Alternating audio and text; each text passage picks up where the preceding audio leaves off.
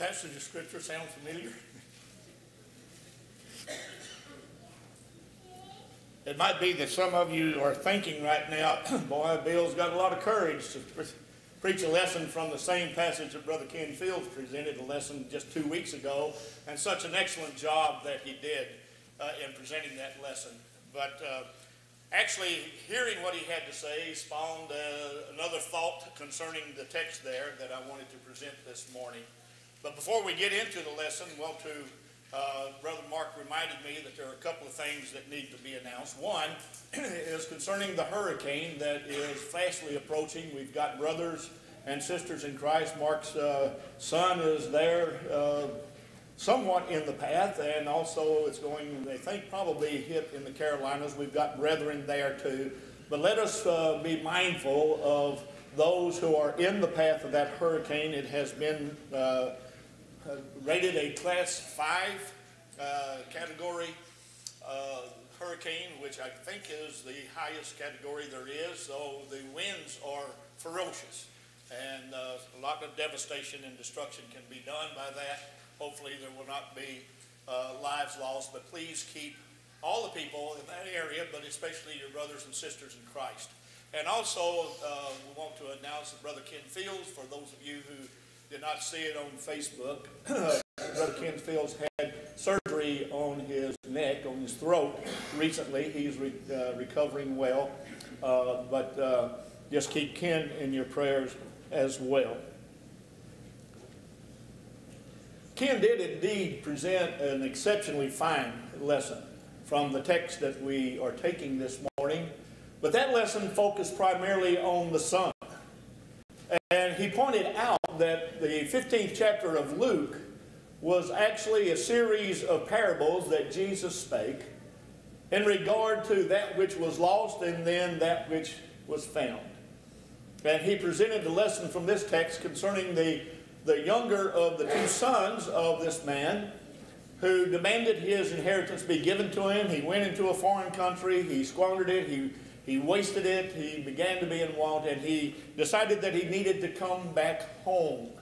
And he made the journey home, and the boy who, uh, who left uh, came back. The boy who was lost had been found. And it was an excellent, excellent lesson. But Ken also pointed out in that lesson that really the parables here in Luke chapter 15, particularly the parable of the prodigal son, is really about God. Uh, we a lot of times focus on the prodigal son. Sometimes we focus on the elder son and his very poor attitude and everything. But really, this, this passage of Scripture is truly about God. I want us to look at this statement here, but while he was still a long way off, his father saw him. And I'd like for you to answer this question and that is what picture of God comes to your mind when you read those words? What picture of God comes to your mind when we read, but while he was still a long way off, his father saw him? The picture that came to my mind was that of the longing of the father. How much he desperately wanted his son to come home. The fact that it says that while he was still a long way off, his father saw him indicates that the father was looking for him every single day. I really like the way that Brother Dee Bowman uh, comments concerning that particular statement. He said the father was watching for him every single day and he didn't know when the bus was coming in. And I think that that's a good way to focus our minds on the fact that the father was ever looking, waiting, longing, desiring for his son to come home. So much so that he was out there every single day looking for him. We're told in 1 Timothy chapter 2, verses 3 and 4, this is good and acceptable in the sight of God our Savior, who would have all men to be saved and come into the knowledge of the truth. I see in this statement here, I see the God who longs for my salvation. I see the God who longs, believe it or not, to have me, to have you by his side in his presence in eternity. A God that wants us to come home to him so desperately bad that he would give his own son to die on the cross, to pay the ransom price for our sins, Yes, for the sin of the world, according to John chapter 1 and verse 29, behold, the Lamb of God takes away the sin of the world. Proper grammar says that when you're taking a multitude of things and making it all lumped into one, it's the singular sin because you've made it all into one. Jesus, the scriptures say, was called the Lamb of God who takes away the sin, all the sin. He made the, uh, the price, he paid the ransom price for all the sin for all time.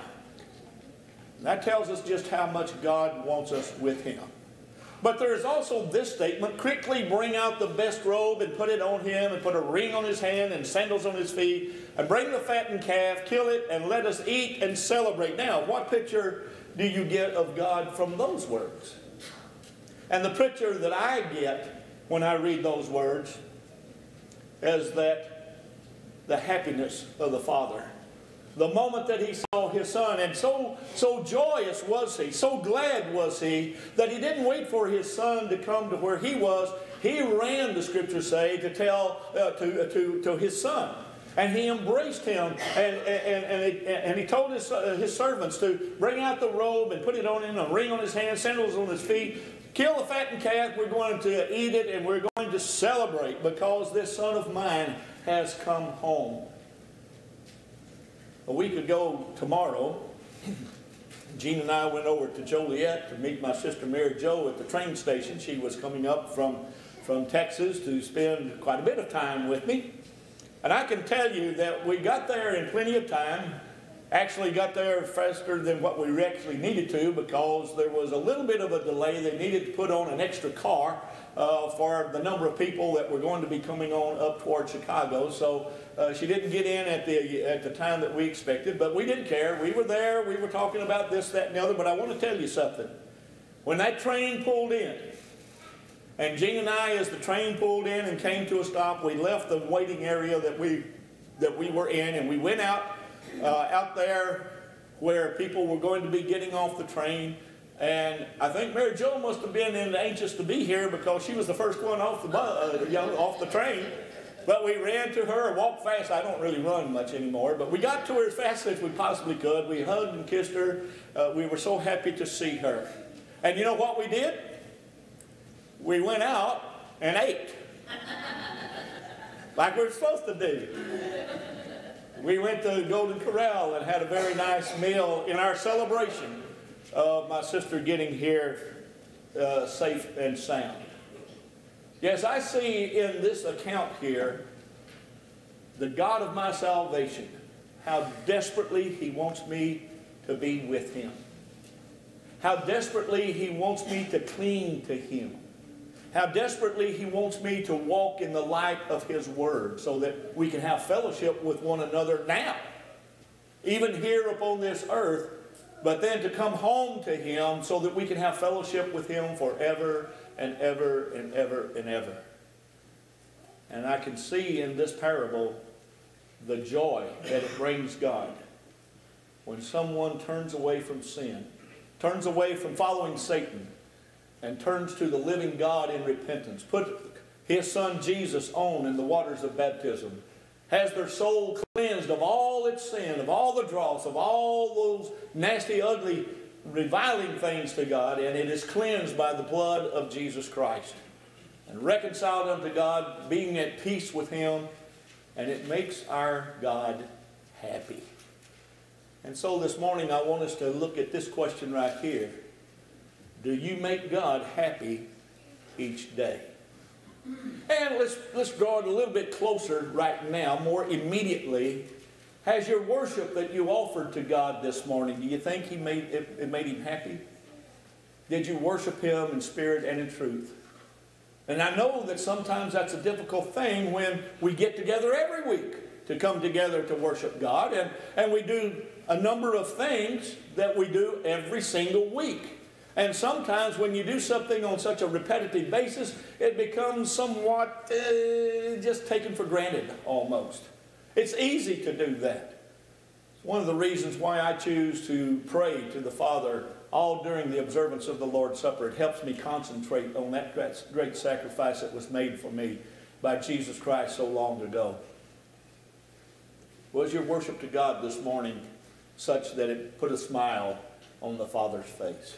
Let's look at some things that we can do that will help us to make God happy every single day. Let's begin by the fact that we, if we take notice of the beauty of God's creation each day, we certainly will make Him happy.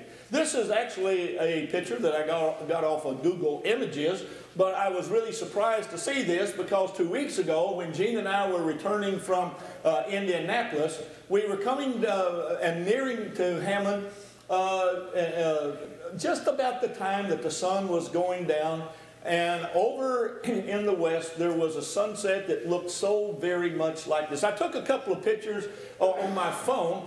I stopped at a red light, but I took a couple of pictures on my phone uh, and Gene said, well, you know good and well that that's not going to even come close to catch, uh, capturing the beauty of this sunset. I have to tell you, it was perhaps one of the most spectacular sunsets I have ever seen in my life, and it just seemingly lasts. Uh, uh it was over an hour that we got to enjoy it because we were still about an hour out from uh, homeland uh, when we started noticing this sunset. But it looked so very much like this. There was so much color in the sky. There were so many different kinds of clouds, uh, different shapes of clouds, different colors in the clouds, and it just reminded us of the greatness of God, the greatness of His creation. And I think that that's exactly what God wants us to do. And I think that it makes Him very happy when we take time to notice the beauties of His creation. We're told in Genesis chapter 1, verse 31, God saw that all he had made, and behold, it was very good. And I don't know about you, but in that particular verse, I see the smile on God's face. He completed his, his creation, and he looked at it. He looked at every bit of it, including Adam and Eve. He looked at the animals. He looked at the stars in the sky. He looked at the beauties uh, of this earth, the, the, the, mountains and, and the green hills and trees and flowers and everything that he had put together to make this creation for us. And I just see God smiling real big and he says, you know what? I did good. I did good there. And I think that that is emphasized, believe it or not, from a, from a negative perspective. Because you remember that Eve was deceived by Satan. She ate of the forbidden fruit, gave to her husband, and he ate thereof too. God came and called them out, wanting to know where you were. And then when he found out what had, had happened, that is to say, when he had uh, confronted them about that, he says to Eve, What is this you have done? And I see that incredible smile that God had on his face at the conclusion of his creation when he said, It is very good. And now he's got tears coming from his eyes because now that perfect creation had been ruined. And he even pronounced a curse on his creation because of the sin of mankind. We have that ability, don't we? We have that ability to make God smile every single day, and we have that ability to bring tears to his eyes, if you will. Jesus, while he was upon this earth on various occasions, cried. And we're told about how that he wept at the, at the death of Lazarus when he went to raise him from the dead. There were tears coming down from our Savior's eyes. And we know that we can. We can hurt God. We can make him sad with our with the way that we live. But we want to please God. We want to make him happy. We read there in Job chapter 7, uh, 37, verse 14, Listen to this, O Job, stand and consider the wonders of God. In other words, I believe that God is telling us in that verse of Scripture right there, listen, I know you've got a busy day. I know that you've got a lot of things on your plate. But what I really would like for you to do, if you want to make me happy, if you want to pull a smile and put a smile on my face, I tell you what, just stand and consider the wonders of my creation. And the psalmist tells us the same thing be still and know I am God. And if we will do that, we will make him happy. We're told in the 19th Psalm, the heavens are telling of the glory of God, and their expanse is declaring the work of his hands. And then also we see that in Job chapter 38 and verse 7, we're told that the morning stars sing. If God's creation is declaring His greatness, His glory, His majesty, because the stars sing as they're moving along their pathways. Uh, we're and maybe even that might be poetic language. Who cares? Basically speaking, what God is saying, my creation reminds me that in the beginning it was perfect.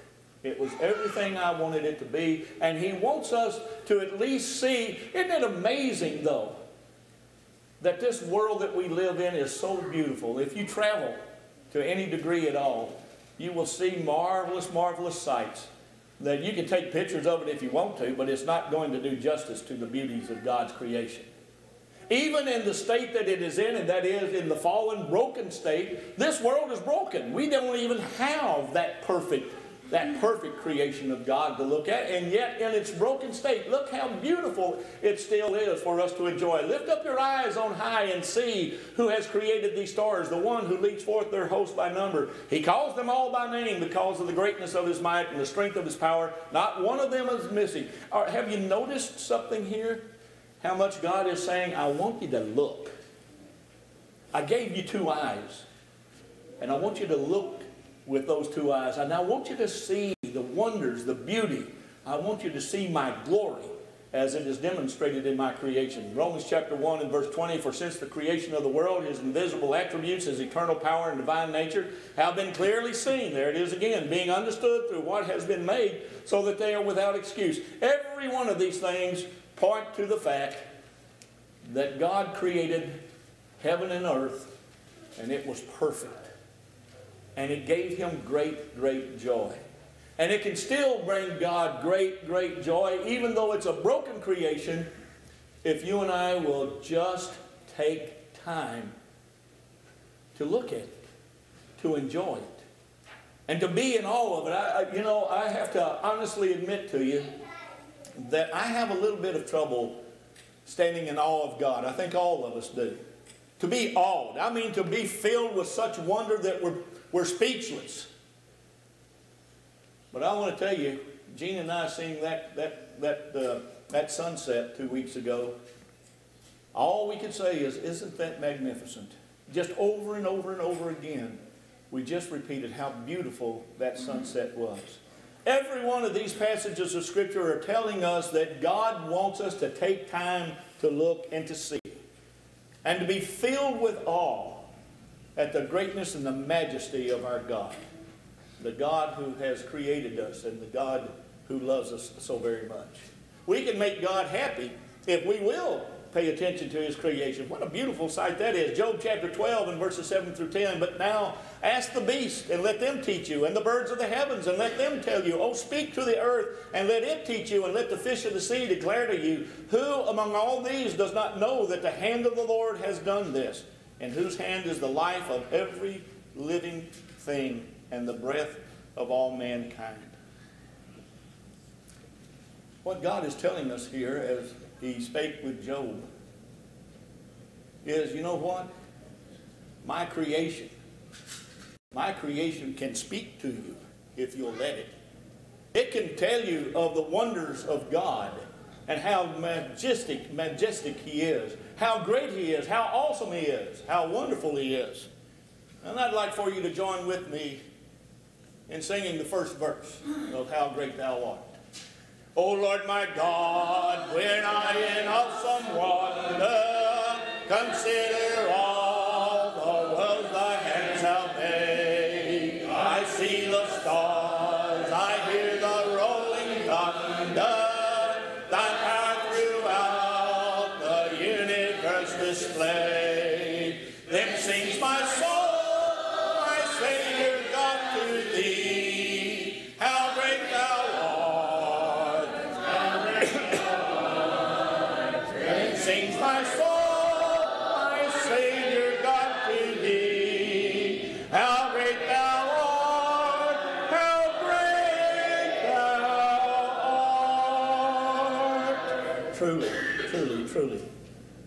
magnificent God.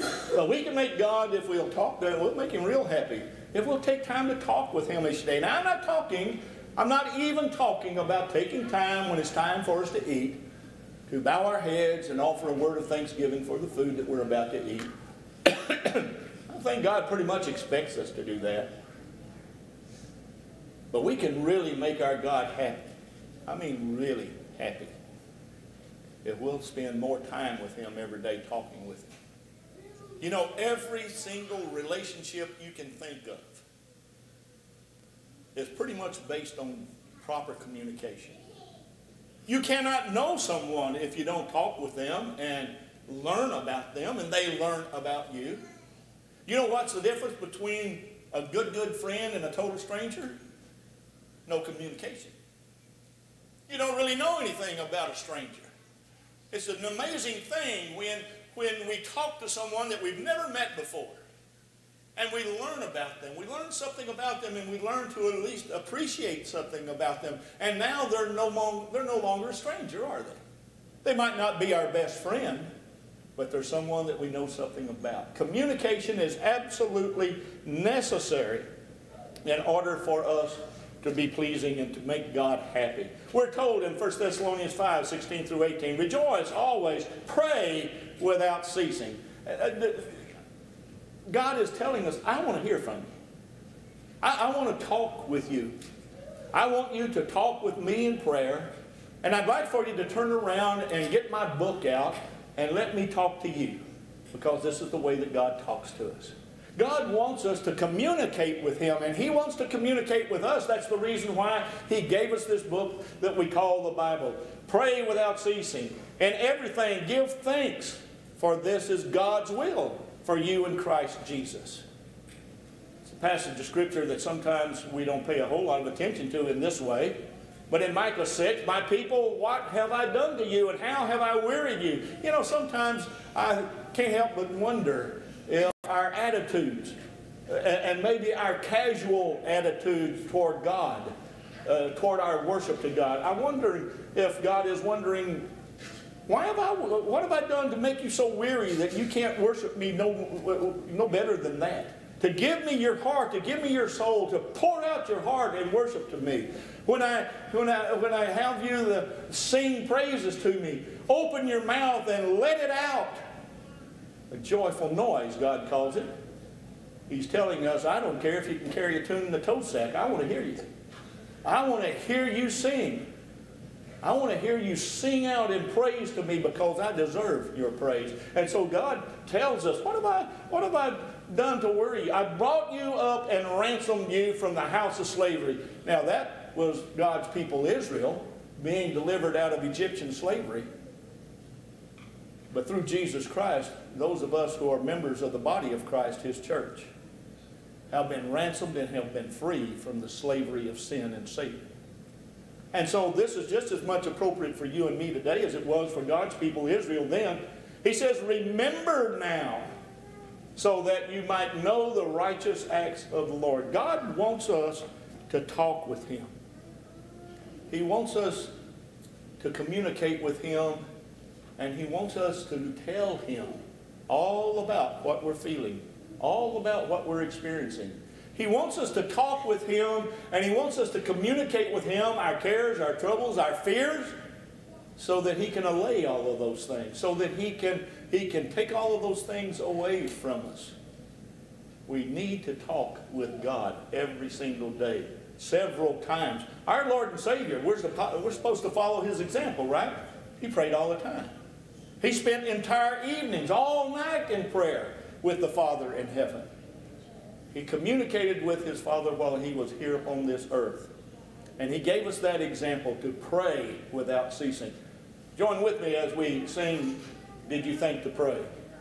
Ere you left your room this morning, did you think to pray? In the name of Christ our Savior,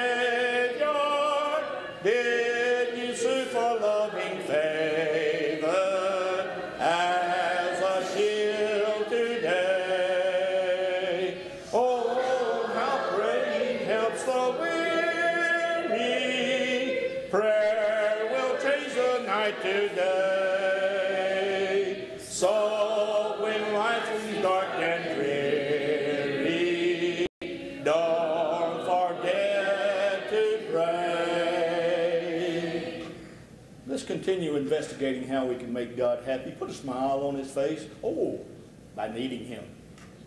We need to lead to need God.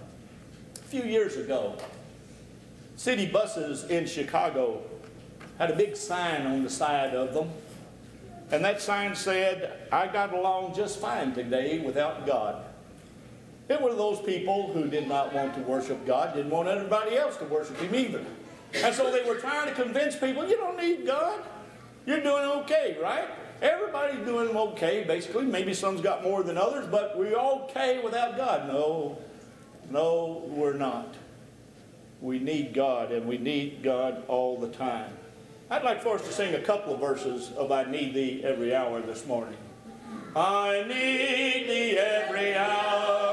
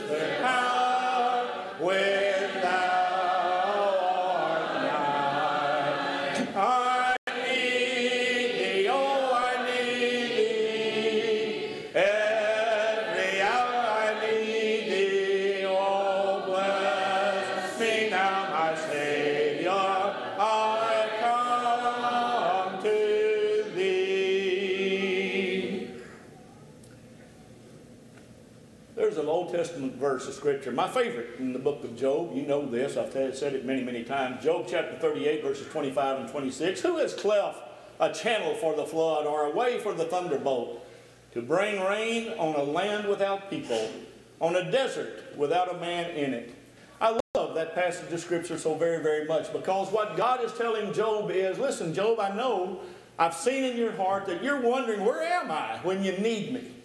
But I want to tell you something, Job. I take awareness of all of my creation.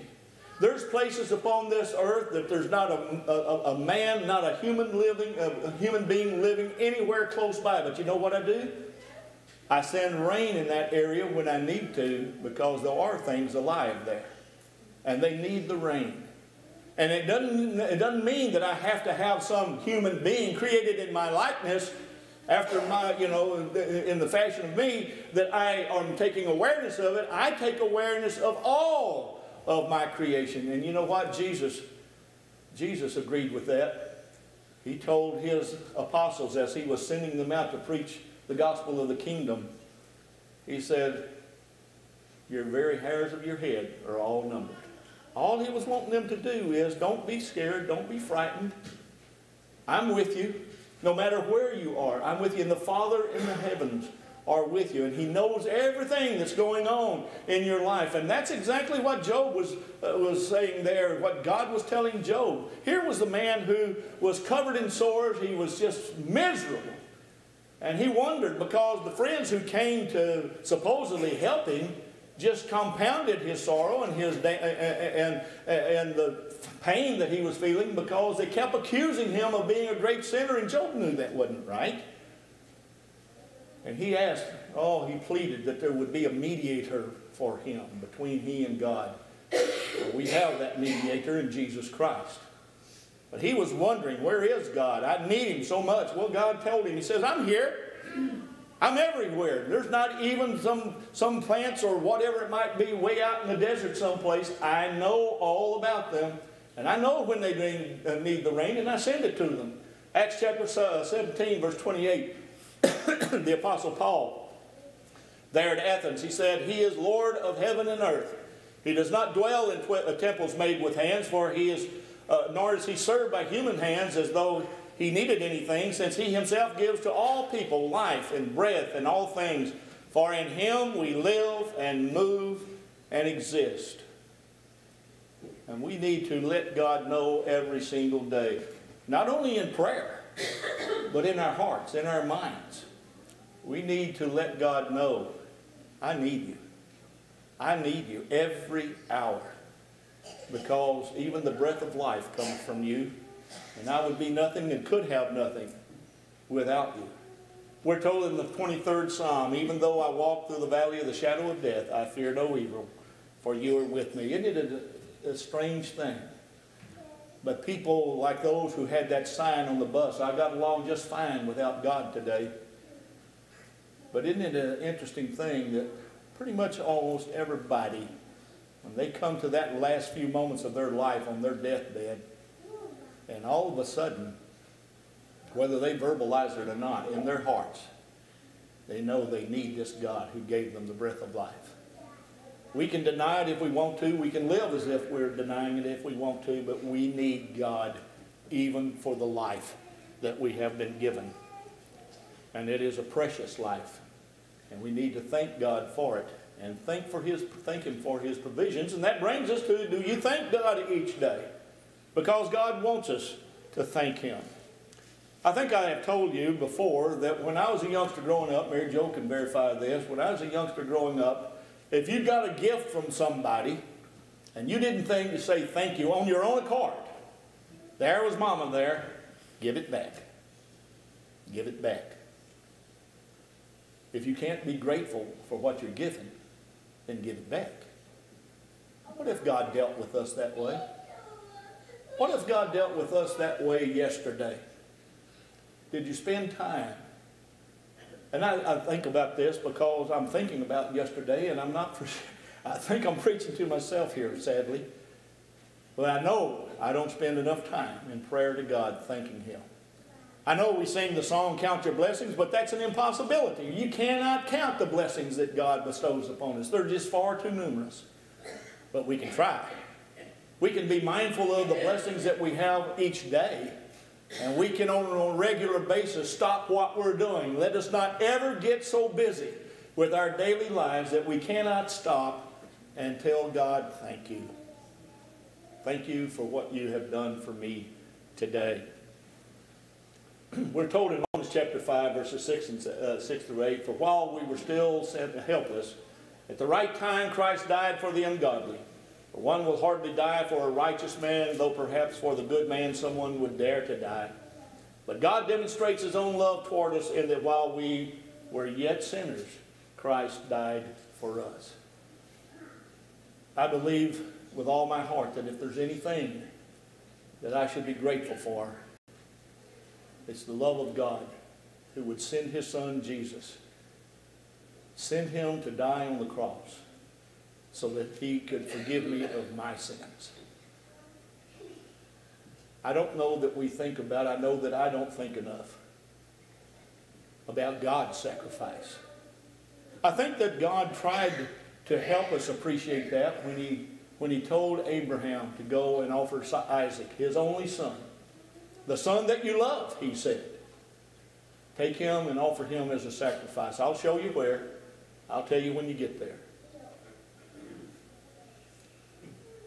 We see in that picture the picture of God. How much he desperately loves us. For God so loved the world that he gave his only begotten Son. And whoever believes in him will not perish but have eternal life. And so, since God loves us so much, that while we were yet sinners, and even after obeying the gospel, we are still unworthy to receive the wondrous grace of God. And again, let me just emphasize one more time to help us to appreciate and be thankful to God for His salvation. After we've done everything that God told us that we have to do, after we've exercised, exercised faith in Jesus Christ as the Son of God, after we've made confession of faith in Him with our mouths after we have repented in sin and uh, with a contract heart, determined to turn away from sin, confessing Christ that He's going to be the Lord and Master of my life after being baptized in water. We're saved by grace. We're saved by grace. And without the grace of God, we, get, we do not. Anybody does not get to heaven. Period. Plain and simple as that. Does that not does that not strike you as something to be grateful for? I think of that publican that went up to pray with the Pharisee. The Pharisee just stood over there and says that he prayed to himself, and that's exactly what he was doing because he was extolling his great virtues. But the publican over there, so humble and meek in spirit, would not even look toward heaven, but smote his breast and said, God be merciful to me, the sinner. He made it personal. Not a sinner, but the sinner. I pray that pretty frequently myself. Be merciful to me, the sinner. And knowing that God is faithful to forgive us our sins when we meet his terms of pardon, we should always say thank you for your forgiveness. Thank you for your grace. Thank you for your long suffering. Thank you for your patience with me. Thank you for Jesus Christ who died for me. In a moment, we're going to sing the song of invitation. I just want to remind those who are here, who've never obeyed the gospel, who have never let Jesus Christ wash your sin away. That we're told in 2 Corinthians chapter 6 and verse 2, he says, At the acceptable time I listened to you, and on the day of salvation I helped you. But behold, now is the acceptable time. Behold, now is the day of salvation. And we're going to sing a song of invitation here in just a minute. And I hope that everyone who is here, if you've not obeyed the gospel, I'm praying, if you stand accountable before God, please, please let Him save you through the blood of His Son, Jesus Christ. If you're a Christian and you're here, but you're not walking with God as you should, you're not living as you should, you're not making God happy as He deserves, take the opportunity to work things out with Him. If a public confession of sin is necessary, then make that confession of sin. Have the courage, have the love for God enough to make that public confession of sin. But whatever your spiritual need might be this morning, we trust that you will take care of that right now while together we stand and sing this song.